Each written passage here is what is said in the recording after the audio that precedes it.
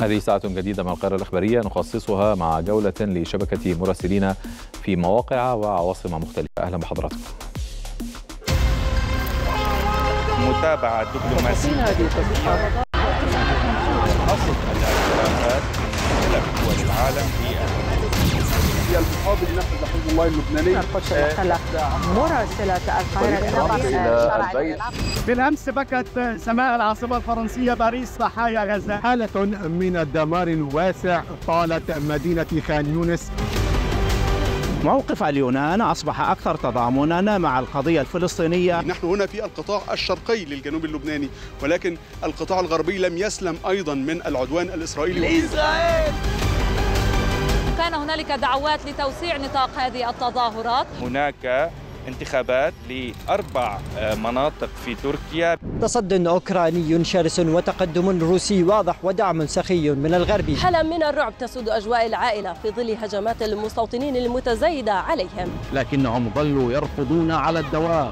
فكرة التهجير وطمس الهوية من هنا من أونتاريو ننقل لكم الخبر والحكاية والمتابعة والتعليق.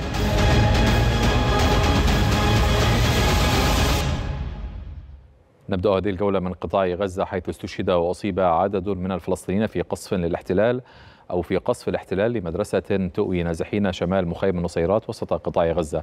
أفادت مصادر محلية بأن مدفعية الاحتلال قصفت أيضا شمال غرب مخيم البريج كما قصف الاحتلال محيط مصنع العودة على شارع صلاح الدين شرق دير البلح.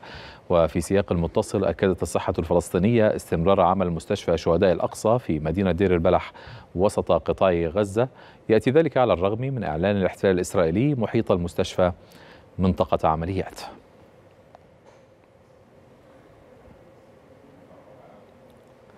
مزيد من التفاصيل ينضم الي الزميل يوسف أبو كويك مراسل القاهرة الإخبارية من خان يونس. يوسف أهلا بك في هذه الساعة. كنت كنت معنا منذ دقائق قليلة في النشرة السابقة وتحدثت عن آخر وأهم الأحداث والعمليات الميدانية العسكرية للعدوان الإسرائيلي في يومه الخامس والعشرين بعد الثلاثمائة. دعنا نتحدث بداية عن استمرار قوات الاحتلال في استهداف المستشفيات المنشآت الصحية والطبية. كان هناك حديث عن توقف مستشفى شهداء الأقصى في دير البلح. آخر الأخبار فيما يتعلق بهذه المستشفى وهل لا تزال تعمل مع إعلان منطقة المستشفى منطقة عمليات. بالفعل يعني كل الإجراءات الإسرائيلية الأخيرة تشي مزيد من الضغط على المنظومة الصحية في قطاع غزة بوسائل وأشكال مختلفة. عملية إخلاء بلوك رقم 128 في المحافظة الوسطى حتى وإن حاول الاحتلال الإسرائيلي أن يرسم الجزء الشرقي من هذا المربع أنه هو المطالب بالإخلاء.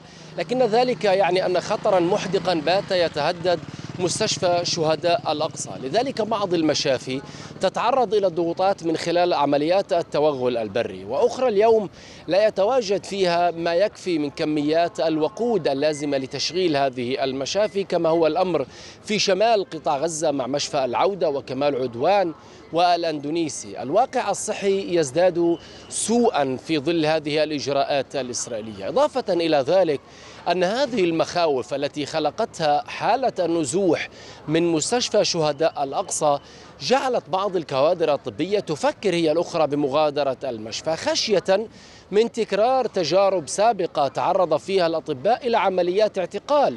وهناك من الأطباء من اعتقلوا من مشافي قطاع غزة وجرى إعدامهم داخل أقسام التحقيق الإسرائيلية وليس ببعيد الدكتور عدنان البرش وغيره من الأطباء. لذلك مشفى شهداء الأقصى كان يتواجد فيها على الأقل 500 مريض. وجريح. الآن لا يتواجد في هذه المشفى سوى 100 مريض سبعة منهم في قسم العناية المكثفة. في الساعات الأخيرة نزح المئات باتجاه المجهول حاولوا العودة إلى خيامهم إلى بيوتهم. أيضا عملية النزوح المتواصلة. واليوم نتحدث عن درجات حرارة تصل إلى 36 درجة مئوية. هذه في الخيام تتجاوز 45 درجة مئوية. اليوم نتحدث عن عذابات النزوح التي تتسبب بها الإجراءات والقرارات الإسرائيلية المتواصلة. قبل فترة وجيزة سعت وزارة الصحة لإعادة تأهيل مستشفى شهداء أو عفوا مستشفى غزة الأوروبي الواقع إلى الجنوب الشرقي من مدينة خان يونس لكن هذه المشافي مقارنة بحجم الضغوطات لا تكفي لأن المحافظة الوسطى لوحدها يتواجد فيها اليوم قرابة مليون فلسطيني ومستشفى شهداء الأقصى كانت تقدم الخدمات لمليون فلسطيني. هناك محطة الأكسجين التي تستفيد منها بقية المشافي. هناك قسم غسيل الكلى وهي ربما تقدم خدمات اليوم حتى للنازحين من المحافظة الشمالية ومن مدينة غزة من خلال هذه المشفى. إذا ما وصل الاحتلال الإسرائيلي عند تخومها ونفذ تهديداته التي قال إنه سيقوم بعملية برية هناك وسيصبح هذا المربع منطقة عمليات خطيرة يعني خروج المشفى عن العمل يعني تهديد قطاعات واسعة من المرضى.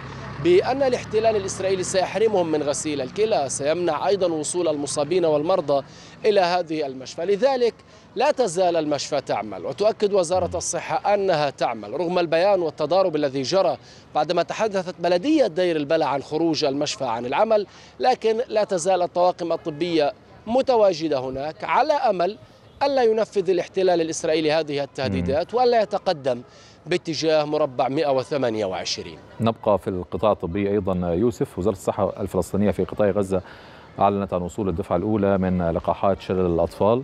هل هناك بنية تحتية طبية في قطاع غزة مؤهلة على الأقل لحفظ وتدريب وتبريد عفوا هذه اللقاحات قبل توزيعها؟ الوزارة قالت إن مليون ومئتين وستين ألف لقاح وصلوا إلى قطاع غزة عبر منظمات دولية. ربما للاحتفاظ بهذه اللقاحات تكون ضئيلة نظرا لانقطاع شبه الدائم للكهرباء وأحيانا تتعطل بعض الأقسام ولا تصلها الكهرباء في مشافي غزة. لكن ربما الأخطر هل هناك خطة لتقديم هذه اللقاحات؟ لقرابة 650 ألف طفل في قطاع غزة. قيل إنهم سيخضعون للتطعيمات التي وصلت إلى قطاع غزة. هل بمقدور وزارة الصحة والمؤسسات الدولية العاملة في غزة أن تقدم هذه اللقاحات في ظل غياب الأمن التام في ظل أيضا عدم استقرار هذه العوائل أيضا النقص في عدد الكوادر الطبية؟ لذلك المؤسسات الدولية اليوم تطالب على الأقل بتوقف إطلاق النار لمدة أسبوع من أجل إيصال هذه اللقاحات للأطفال وتقديمها من أجل مكافحة شلل الأطفال الذي ظهر لأول مرة في قطاع غزة منذ 25 عاما.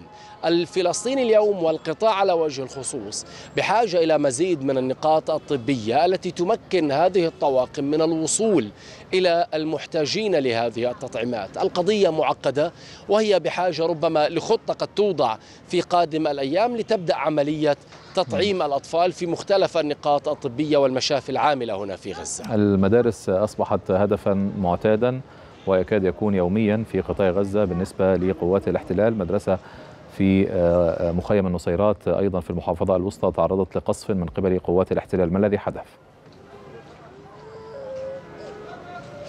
بالفعل اليوم إحدى المؤسسات الدولية تقول أنه في غضون شهر استهدف الاحتلال الإسرائيلي 12 مدرسة بالقصف غالبا من قبل المقاتلات الحربية الإسرائيلية وهي جرائم أسفرت عن استشهاد عشرات الفلسطينيين. اليوم سقطت قذيفة مدفعية على مدرسة المعز بن عبد السلام في منطقة أرض المفتي شمال مخيم النصيرات وهو قصف أسفر عن استشهاد مواطنة وإصابة آخرين. استهداف المدارس باتت سياسة إسرائيلية ممنهجة منهجة هناك أكثر من 80% من مدارس القطاع دمرت.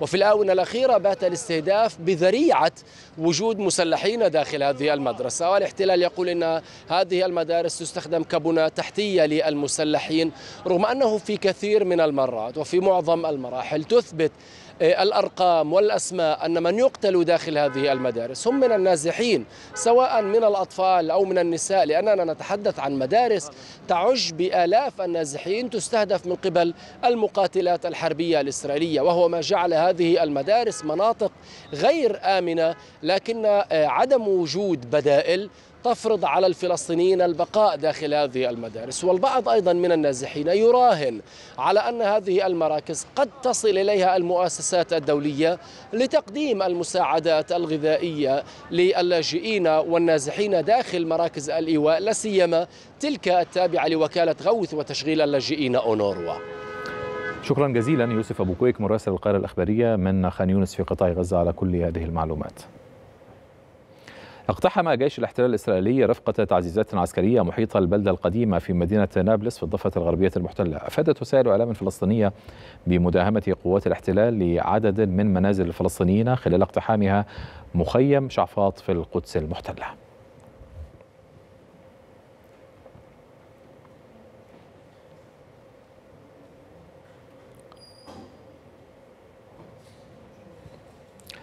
على حال تنضم إليها الآن الزميلة ولاء السلامين من رام الله ولاء أهلا بك في هذه الساعة يبدو أن نابلس كانت هدفا لقوات الاحتلال خلال الساعات الماضية أليس كذلك؟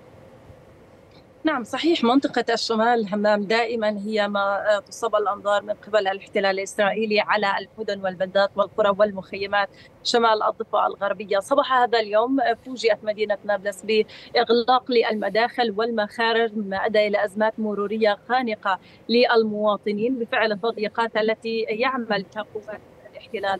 عدة حواجز كانت مغلقة منذ الصباح ولغاية هذه اللحظات أيضا نتحدث عن ما حصل يوم أمس بالقرب من مدينة سلفيت قام مصطفى باستدراج أحد المواطنين أو شابين من المواطنين وبعد ذلك قام بخطفهم ليتبين بعد ذلك أن الشابين بتسجيل صوتي بعث على مجموعات لمدينة جنين بأنه تم استدراجهم من قبل هذا المستوطن وقاموا بالفرار لا يعرفون إلى أين ولكن جنود الاحتلال قام المستوطن بإخبار جنود الاحتلال أن هؤلاء الشابين كانوا يريدون التخلص منه وأيضا يريدون تنفيذ عملية. فقامت جيش الاحتلال واستنفر في تلك المنطقة بالقرب ما تسمى مستوطنة أرائيل. وقاموا بإطلاق وابل من الرصاص الحي على الشابين. نتحدث عن 646 فلسطيني قد ارتقوا برصاص جنود الاحتلال منذ السابع من أكتوبر. أيضا نتحدث عن غرب مدينة رام الله بالتحديد في دير قبيس قام مستوطنون بالهجوم على المواطنين في تلك القرية وبعد ذلك كان هناك حماية لجنود الاحتلال هؤلاء المستوطنين الذين كانوا بالعشرات قاموا بالتجول في القرية وأيضا مداهمة عدد من المنازل غير مأهولة بالسكان، يذكر أن هذه المنطقة قد قامت قوات الاحتلال بالاستيلاء على 441 دونما من أراضي دير قديس دير عمار وشفتين من هذه المنطقة غرب مدينة رام الله. وأيضا تحدثت هيئة مقاومة الجدار والاستيطان 2024 قامت أكثر من 17 مستوطنة في انحاء متفرقة من الضفة الغربية. أيضا كما تحدث عن الخبر في مخيم شعفاط كانت قوات الاحتلال قد داهمت المخيم من عدة مناطق واستخدمت أحد الشبان الفلسطينيين كدرع بشري للتنقل في مخيم في المخيم ومداهمة عدد من المنازل الفلسطينية في تلك المنطقة. أيضا نتحدث عن إحصائيات هيئة شؤون الأسرى والمحررين. تحدثت أن هناك 15 فلسطيني جرى اعتقالهم منذ مساء يوم أمس ولغاية هذه اللحظات ليبلغ عدد الفلسطينيين الذي جرى اعتقالهم منذ السابع من أكتوبر إلى 700 عفوا 10 10200 فلسطيني على الأقل من مختلف محافظات الوطن بما فيهم القدس المحتلة. أيضا تعاني هيئة الأسرى والمحررين من شح ضئيل في المعلومات حول أهالينا من قطاع غزة منهم استشهدوا وأيضا انضموا داخل سجون الاحتلال وتتبع مصلحة سجون الاحتلال. عن للمعلومات لأهل في قطاع غزة، هذه مجمل الأوضاع في الضفة الغربية لا سيما عند مدخل مخيم قلنديا قامت قوات الاحتلال بإغلاق مسار الحافلات.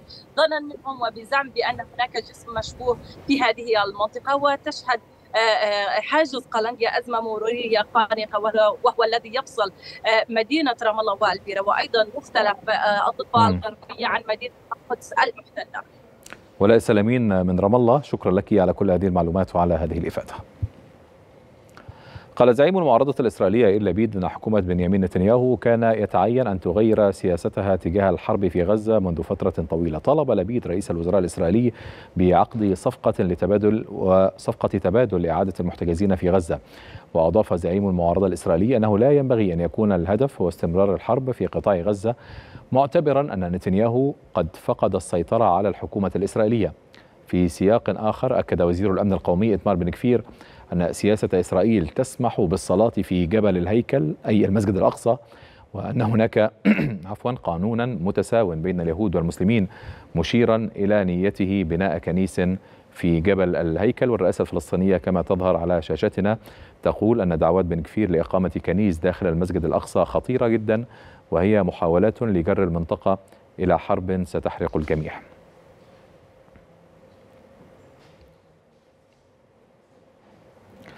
في سياق المتصل قال وزير الدفاع الإسرائيلي يوآف جالنت أن الحرب على حزب الله ستكون في المستقبل البعيد وليس الآن. وأضاف جالنت أن الجيش الإسرائيلي أفشل هجمات حزب الله وتصدى لمئات الطائرات المسيرة والصواريخ التي أطلقها حزب الله تجاه إسرائيل.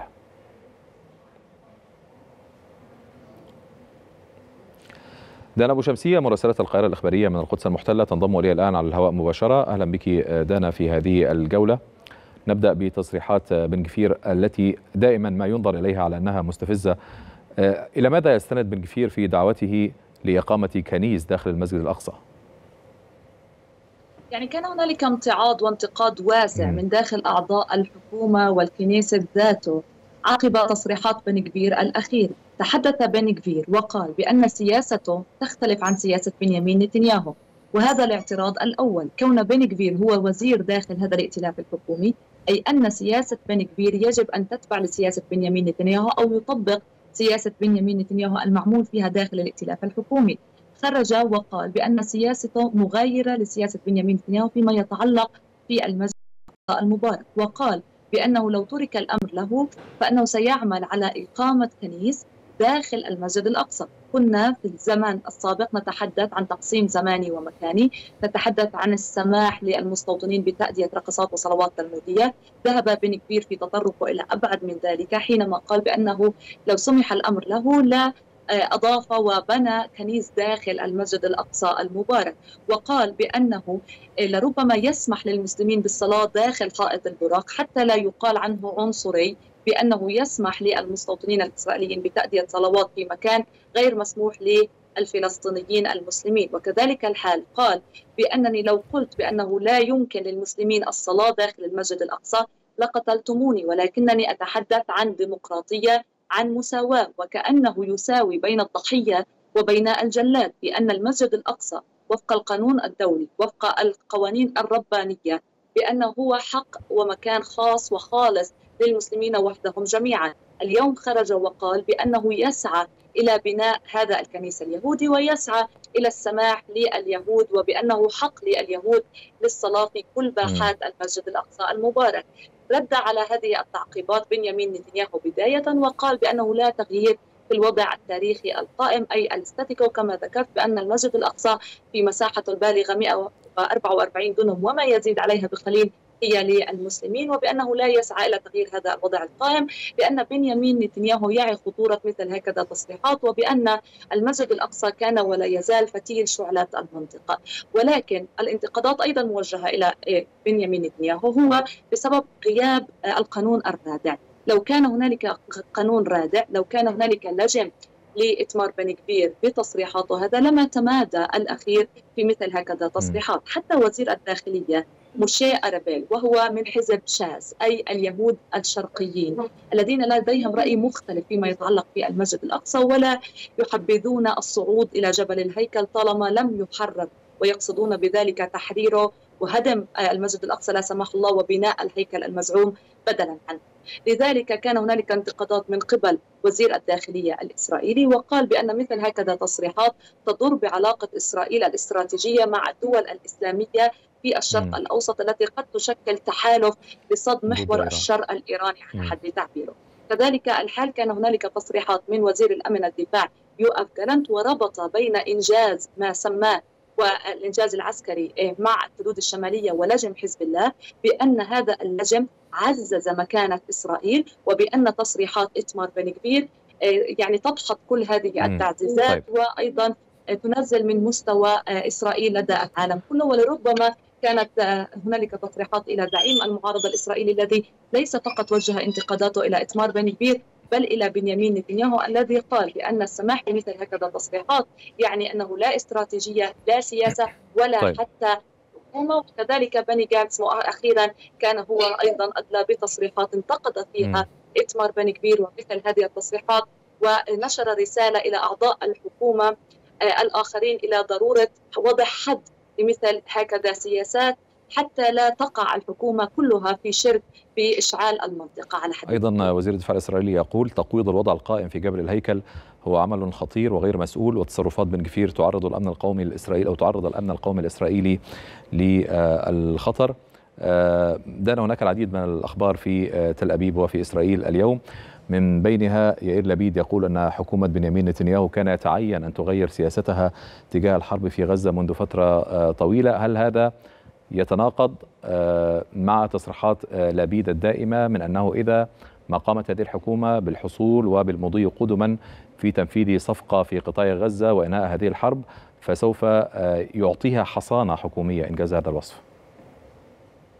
يعني تصريحات لبيد تكون على خطين متوازيين وليس متناقضين وخاصة بأنه يقول بأن هذه الحكومة لا تعرف كيف تدير البلاد وبأن الأولى وسلة أولويات هذه الحكومة يجب أن يكون ملف المفاوضات. وإذا كان بنيامين نتنياهو متخوف من حل هذه الحكومة بسبب تهديدات إتمار بن كبير وسموتريتش فإنه يمكن تشكيل شبكة أمان أو تقديم شبكة أمان من المعارضة الإسرائيلية التي تحصل على 58 مقعد مقابل 52 مقعد لائتلاف الحكومة وكأنه يحاول إقناع بنيامين نتنياهو ولكن بنيامين نتنياهو يتطلع إلى الاستمرارية إلى الديمومة في وجود هذا الائتلاف الحكومي. لذلك لا يولي أهمية لهذا لهذه شبكة الأمان التي يعرضها لبيد على بنيامين نتنياهو ويصف بجانب اليمين المتطرف الذي ينادي بضرورة إمادة هذه الحرب.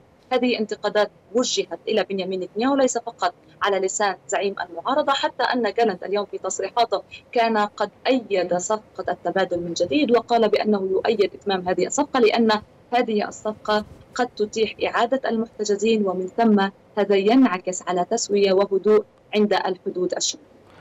الخبر اللافت الذي صدر عن الجيش الإسرائيلي اليوم أيضا أن الطائرة رقم 500 من المساعدات العسكرية منذ السابع من أكتوبر حطت ووصلت إلى تل أبيب هذا رقم كبير دانا لم يمر على السابع من أكتوبر سوى 325 يوما أي بمعدل كل يومين ثلاث طائرات مساعدات عسكرية وصلت إلى تل أبيب هذا رقم كبير أليس كذلك؟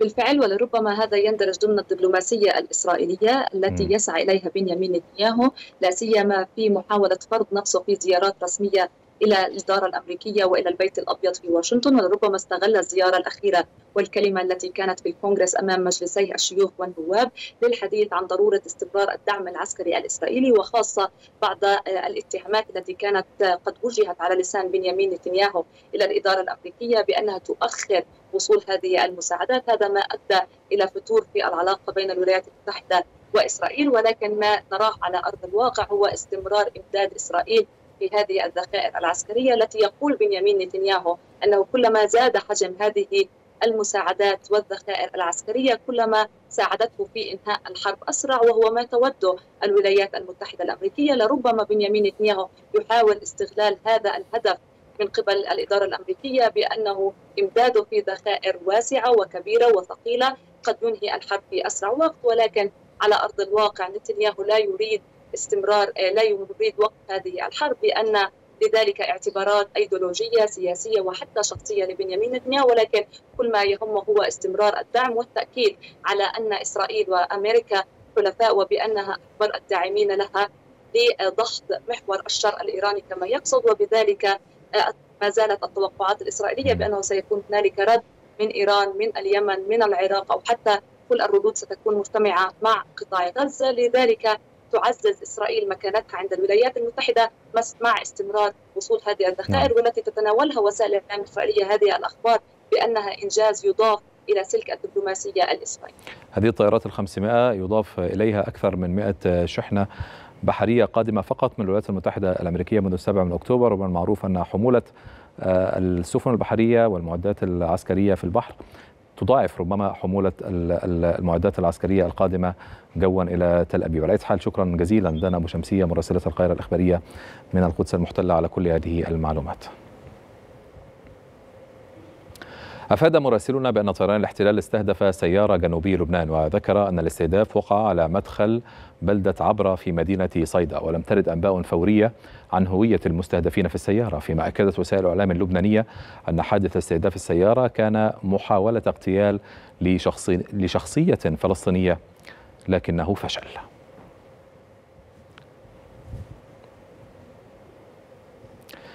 ينضم إلي من منطقة مرجع عيون في الجنوب اللبناني الزميل مصطفى عبد الفتاح مراسل القاهرة الإخبارية من هناك. مصطفى أهلا بك في هذه الساعة. بداية هل اتضحت هوية المستهدف من هذه السيارة التي أعلن جيش الاحتلال أنه استهدفها؟ يعني حتى الآن لم تتضح هوية من كانت تريد سلطات الاحتلال استهدافه عند مدخل مدينة صيدا حيث قامت مسيرة تابعة لقوات الاحتلال الإسرائيلي باستهداف سيارة كانت هذه السيارة تقف ولا تسير على الطرقات ولكنها كانت تقف على جانب الطريق وتم استهداف تلك السيارة من خلال صاروخين استهدفوها عندما كانت هذه السيارة تقف عند ملتقى طرق على ناحية مدخل مدينة صيدا. نتحدث عن ما ذكرته وسائل وسائل الإعلام اللبنانية والتي قالت أنه ربما كانت هذه المحاولة هي محاولة لاغتيال أحد الشخصيات القيادية في الفصائل الفلسطينية ولكن لم يفصح عن الاسم بعد. لذلك فهناك خوف من أن يفصح عن الاسم الذي كانت قوات الاحتلال تريد تصفيته وأن يتم تتبعه مرة أخرى. ربما هذا كان هو السبب في عدم إعلان الاسم وعدم الخلط بين الأسماء في هذا التوقيت الحرج. في ظل ما تقوم به قوات الاحتلال وسلطات الاحتلال الإسرائيلي من منهج متبع في تصفية القيادات الفلسطينية من الفصائل فصائل المقاومة الفلسطينية خاصة في مدينة تصيدا وبالقرب من مخيم عين الحلوة الذي يضم عديد من الفلسطينيين والقيادات الفلسطينية من الفصائل من فصائل المقاومة. لذلك فالأوضاع حتى الآن في مدينة صيدا. هناك يعني حالة من حالات الارتباك في المنطقة التي وقعت بها الحادثة فيما عمت يعني فيما عم الهدوم الهدوء باقي أنحاء مدينة صيدا وانتقل هذا الهدوء أيضا إلى المنطقة الحدودية الجنوبية التي نحن بصدد الوقوف فيها الآن. يعني حالة من حالات الهدوء التام خلال الساعات الأولى لصباح هذا اليوم وحتى هذه الساعة يعني هو هدوء هام هدوء تام ربما هو الهدوء الذي يلي العاصفة وبحسب يعني تصريحات بعض وسائل الإعلام فإن هذا الهدوء ربما يؤشر على أن الهجمات والمواجهات ما بين الجبهتين ما بين قوات الاحتلال الإسرائيلية وحزب الله ستتوقف ولو لبضعة أيام وذلك بعد إعلان حزب الله من خلال كلمة الأمين العام له بأنه يعني أراد الرد على مقتل قائده العسكري فؤاد شكر وأن الحزب بالفعل حقق هذا الهدف. طيب هذا هل هذا الهجوم الذي وقع في صيدا قبل دقائق قليلة هو الهجوم الأول منذ الهجمات العنيفة والواسعة بين حزب الله وإسرائيل يوم أمس؟ يعني لم يكن هذا هو الاستهداف الأول في مدينة تصيدا للقيادات الفلسطينية من المقاومة من المقاومة الفلسطينية كان هناك استهداف منذ حوالي عشرة أيام أو أقل لأحد القيادات من المقاومة الفلسطينية وبالفعل كان هناك هذا الاستهداف الذي نتج عن يعني مقتل أحد القياديين صحيح. بحركة المقاومة الفلسطينية وكان وكانت هذه الحادثة بالقرب أيضا من م. نفس المنطقة في المنطقة المجاورة نعم. لمخيم عين الحلوة وهذا هو المستهدف دائما في كل العمليات التي تقوم صيدا واحدة من مدن الجنوب اللبنانية دائمة الاستهداف من قبل قوات الاحتلال. لكن كان سؤالي مصطفى ما يتعلق بالهجوم الواسع الذي شنه حزب الله وردت عليه إسرائيل بالأمس. هل ما حدث اليوم في صيدا هو التصعيد الأول منذ هجوم الأمس؟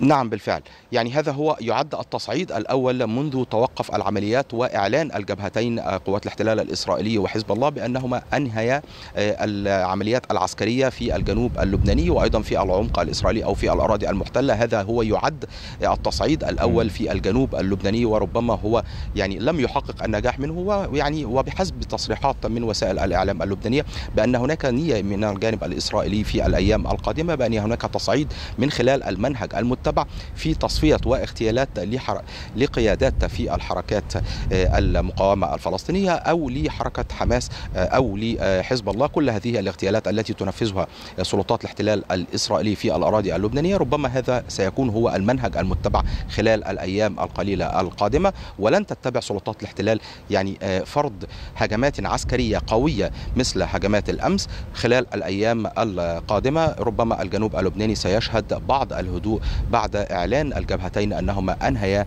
المراحل المراحل الأولى من الهجمات سواء كانت مراحل هجومية استباقية كما ذكرت وسائل الإعلام الإسرائيلية أو مرحلة الدفاع والرد التي أعلن حزب الله أنه أنهى هذه المرحلة بالرد على اغتيال قائده العسكري فؤاد شكر.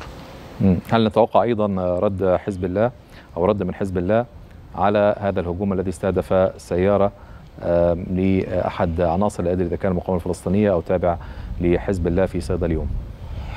يعني في المعتاد كان حزب الله يرد على هذه يعني آه يعني دائما ما كان الرد من قبل حزب الله يكون رد باستهداف أحد المواقع العسكرية والاستراتيجية التابعة لسلطات الاحتلال الإسرائيلي والقريبة من الحدود اللبنانية، كان هذا هو المتبع باستهداف نقطة أو نقطتين في كل عملية تقوم بها قوات الاحتلال الإسرائيلي. عفوا. في الداخل اللبناني سواء كانت في الجنوب أو في البقاع الشرقية أو في الضاحيه الجنوبية كان دائما الرد يكون رد محدود. ولكن على أي حال فإن حزب الله نعم. يبدو على أن هذه الردود المحدودة ستكون هي المنوال خلال عمليات الرد من حزب الله في اتجاه سلطات الاحتلال الإسرائيلي. نعم. شكرا جزيلا مصطفى عبد الفتاح من الجنوب اللبناني على كل هذه التفاصيل وعلى هذه الإفادة. نبقى في لبنان حيث بحث وزير الخارجية اللبناني عبد الله أبو حبيب في اتصال هاتفي مع منسق السياسة الخارجية بالاتحاد الأوروبي جوزيف بوريل. بحث التطورات الميدانية في جنوب لبنان والمنطقة.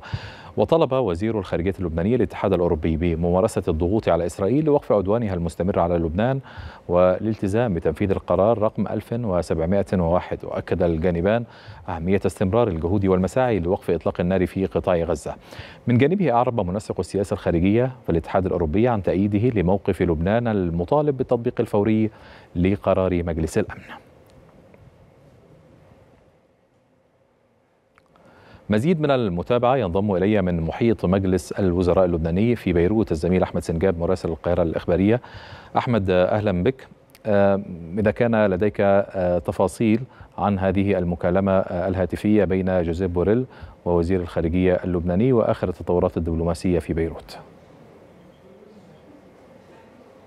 نعم تحياتي لك في البداية. بالفعل هذه المكالمة جرت اليوم بناء على التطورات التي جرت الحدود اللبنانية الجنوبية خلال الساعات القليلة الماضية وبناء أيضا على موقف الدولة اللبنانية الذي أعلنه رئيس حكومة تصريف الأعمال اللبنانية بعد اجتماع وزاري بالأمس وقال إن لبنان يريد التطبيق الكامل للقرار 1701 علما بأن هذا القرار كان هو مفتاح وقف إطلاق النار في حرب تموز يوليو عام 2006 وهذا القرار لم يطبق بكافة مندرجاته حتى الآن وبالتالي لبنان يتمسك بالتطبيق الكامل لهذا القرار أي أن لبنان يتمسك بالحل السياسي والدبلوماسي للوضع على الجنوب اللبناني ولا يريد أي تصعيد في المنطقة. فكان في هذه المكالمة تثمين من قبل بوريل الموقف اللبناني المتعلق بالقرار 1701 ولبنان أيضا كان قد طالب بوقف أو بالضغط على إسرائيل لوقف الممارسات العدائية تجاه الدولة اللبنانية ووقف الانتهاكات المتكررة للقرار 1701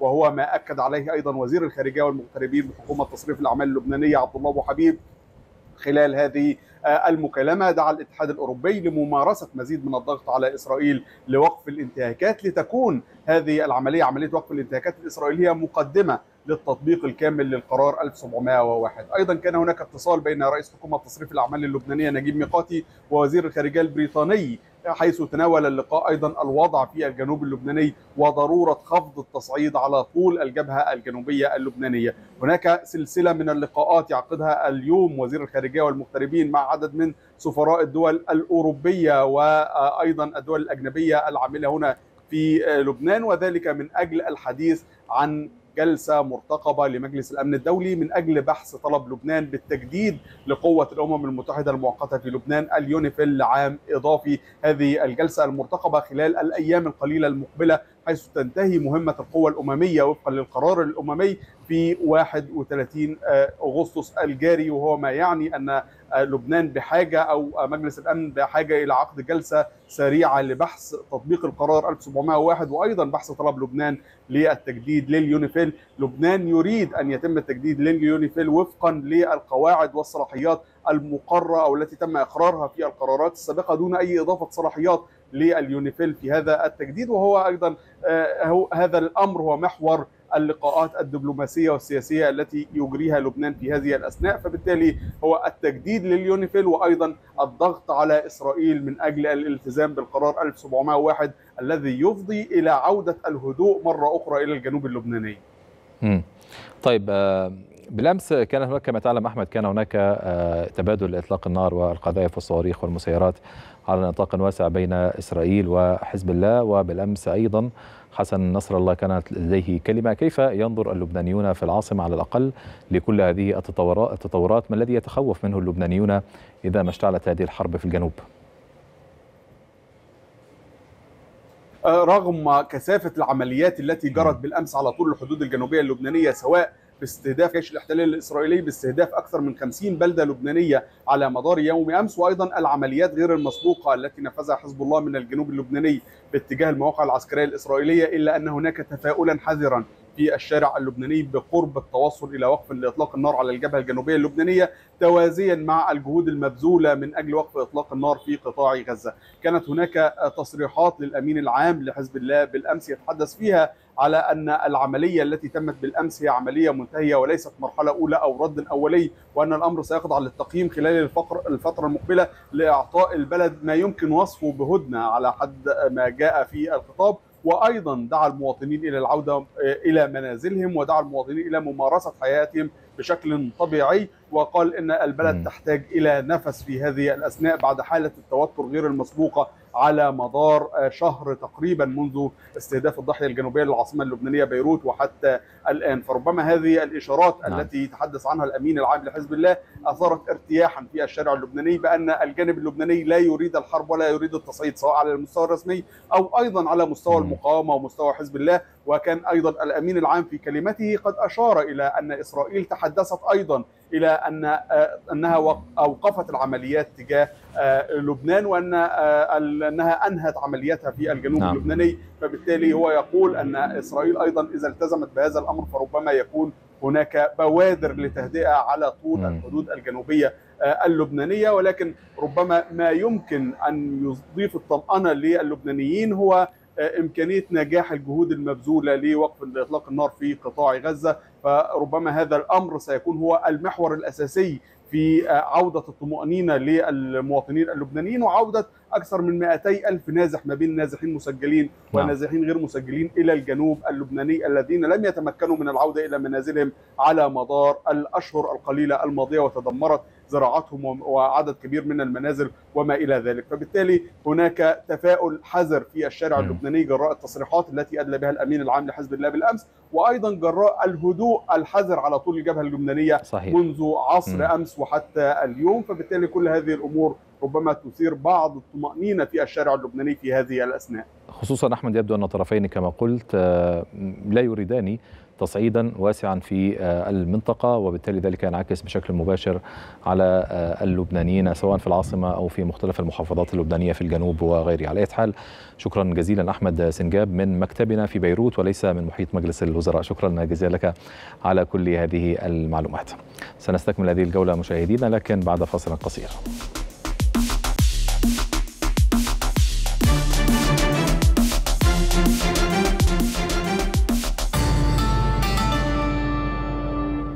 أهلا بحضراتكم مجددا أعلن الجيش الروسي استخدام أسلحة عالية الدقة لضرب بنى تحتية للطاقة الأوكرانية تدعم المجمع الصناعي العسكري في أوكرانيا.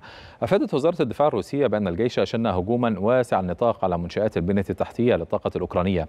يأتي ذلك فيما كشفت الدفاع الروسيه أن دفاعاتها الجوية دمرت قنبلة موجهة من طراز هامر و58 طائرة أوكرانية مسيرة.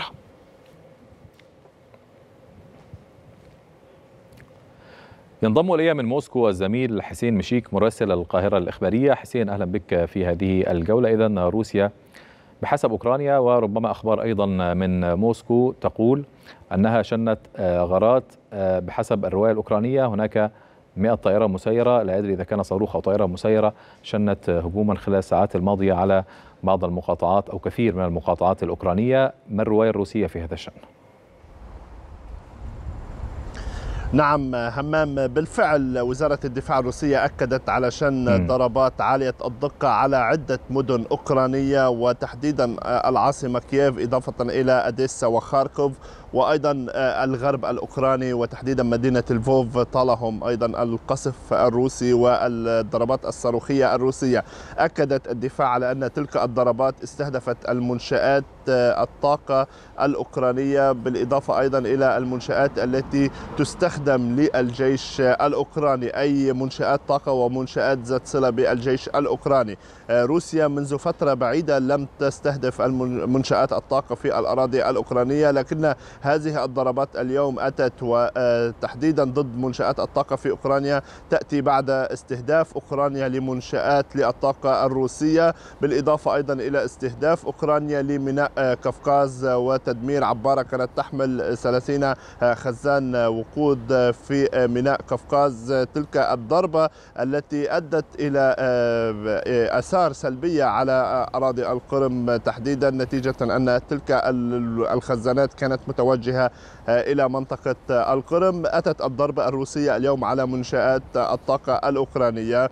دائما موسكو ما تقوم بمثل هذه الضربات كردة فعل على الاستهدافات والضربات الأوكرانية لكن بعض الخبراء يتحدثون همام عن أن موسكو لربما تكثف مثل هذه الضربات خلال الفترة المقبلة وتحديدا مع بداية فصل الشتاء في الأراضي الأوكرانية والأراضي الروسية وذلك من أجل تأليب الداخل الأوكراني أكثر على النظام الأوكراني وخاصة أن بعض وسائل الإعلام الروسية تتحدث عن أن نسبة كبيرة من الشعب الأوكراني الآن بدأت ترفض وجود زيلينسكي وأيضا قادة النظام الأوكراني نتيجة التعبئة العسكرية التي فرضها النظام الأوكراني إضافة أيضا طيب. إلى عدة قوانين فيمكن الحديث عن أن ضرب ضربات روسية على منشآت للطاقة تؤدي إلى وقف التدفئة وأيضا وقف الكهرباء يمكن أن تكون مثل هذه الضربات أو هذه الخطوات أيضا إضافة لتأليب الداخل الأوكراني أكثر طيب. على القيادة الأوكرانية وعلى النظام الأوكراني وأيضا هذه الضربات تأتي كإطار الرد الروسي على ما. تقوم به القوات الأوكرانية من استهداف لمنشآت الطاقة في الأراضي الروسية همام. أما في التطورات العسكرية أيضا طيب قبل أن نعم قبل أن نستمر في التطورات العسكرية حسين آه نبقى في هذا الهجوم الذي وصف بأنه هجوم واسع لم يحدث منذ فترة من قبل روسيا على أوكرانيا وفي محافظات وصلت إلى آه غرب أوكرانيا حتى لم تكن تستهدفها القوات الروسية. هل ينظر إلى هذا الهجوم على أنه رد مباشر على ما حدث في كورسك؟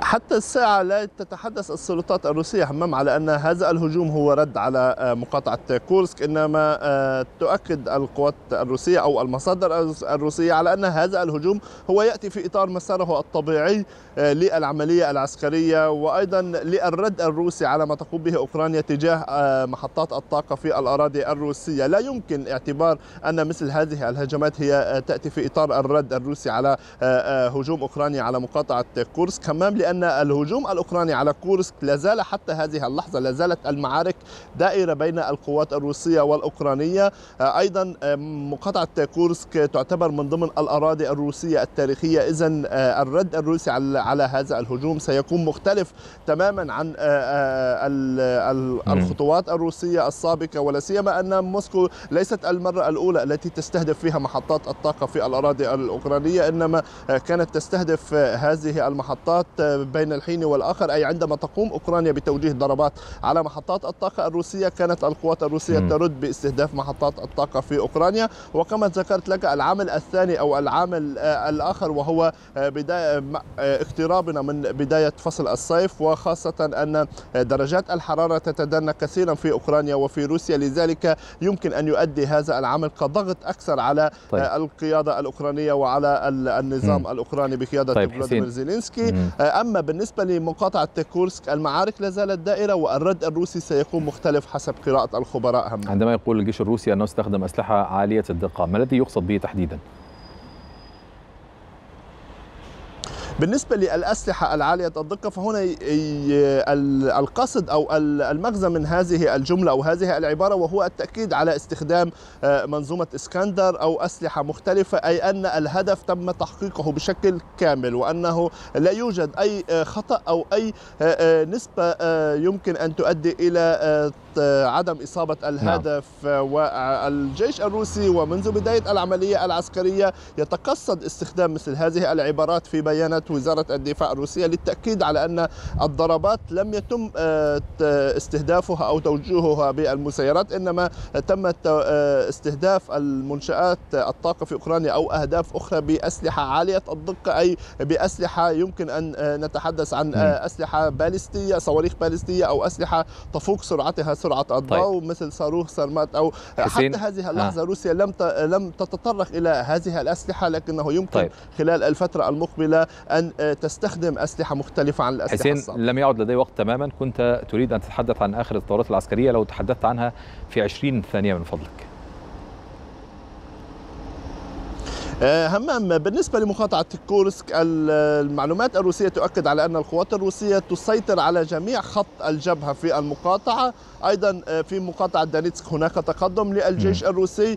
أيضا في مقاطعة بلغراد هناك إصابات في صفوف المدنيين. عدد القتلى المدنيين وصل إلى أكثر من خمسة قتلى بالإضافة أيضا إلى 15 جريحا نتيجة القصف الأوكراني على مقاطعة بلغراد نعم شكرا. جميع هذه الخطوات العسكرية تتزامن مع القصف الروسي على مختلف المدن الأوكرانية.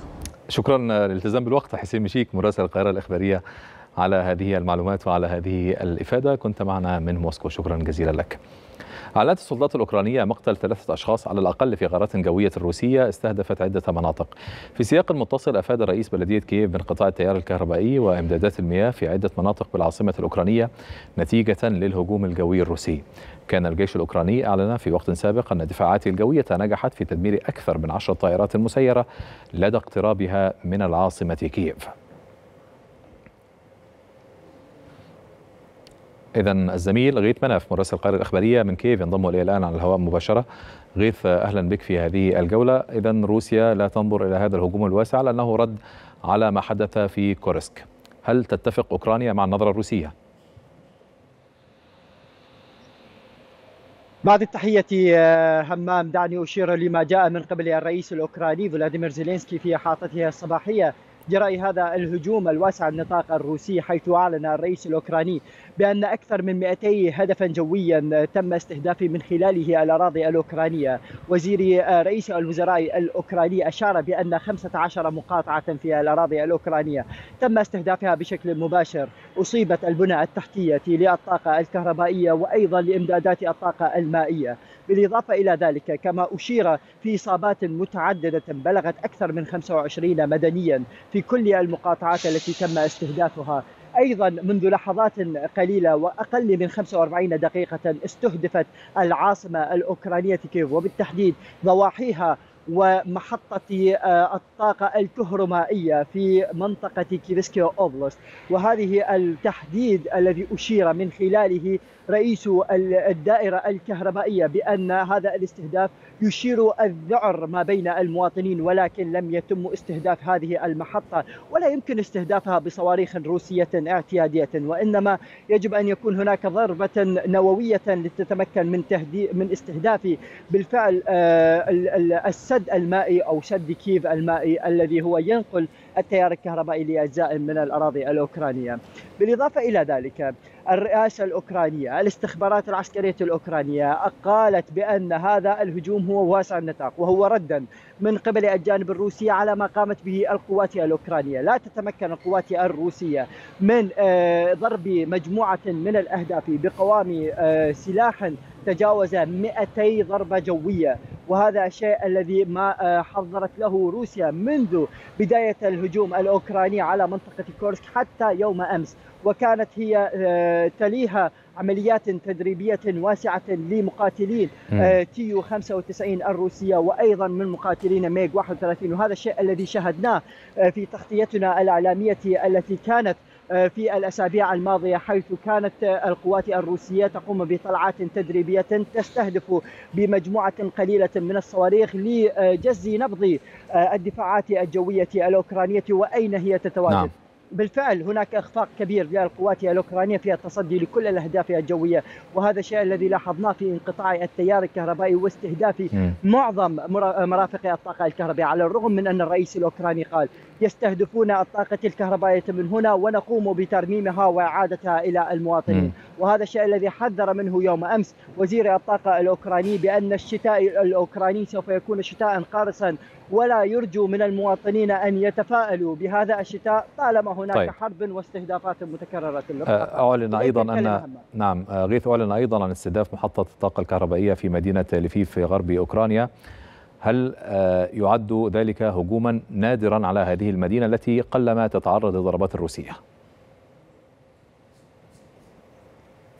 همام المنطقة التي نادرا ما يتم استهدافها هي مدينة لوتسك وهي م. التي لا تبتعد عن الحدود الأوكرانية البولندية سوى 30 كيلومترا وهذا الشيء الذي وضع علامات استفهام. كون الخطر كان على أبواب البولنديين وكانت هناك تحليق مكثف لمقاتلات اف 16 البولندية التي كانت واخترقت بعض الأجواء الأوكرانية ثم عاودت إلى الأجواء الأوروبية. وهذا الشيء الذي ينذر بأن روسيا أما تنقل رسالة للغرب بأن تدخلكم في الداخل الأوكراني سوف يعرضكم لوابل من المسيرات. أم هي كانت ضربة استباقية عرضية على منطقة لوتسك ولا سيما بأن استهدف فقط مبنى سكني متكون من خمسة أدوار.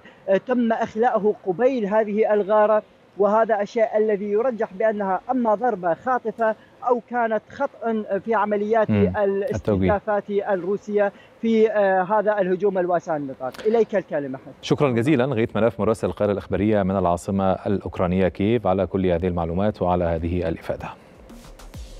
وصلنا إلى ختام هذه الجولة. شكرا لجميع الزملاء مراسلينا الذين شاركوني إياها. شكرا لكم جميعا على كل هذه المعلومات وعلى هذه الإفادات. الشكر موصول لحضراتكم مشاهدينا على طيب المتابعة. بعد قليل وعلى رأس الساعة تلتقيكم الزميلة داليا نجاتي في جولة إخبارية جديدة. ابقوا معنا.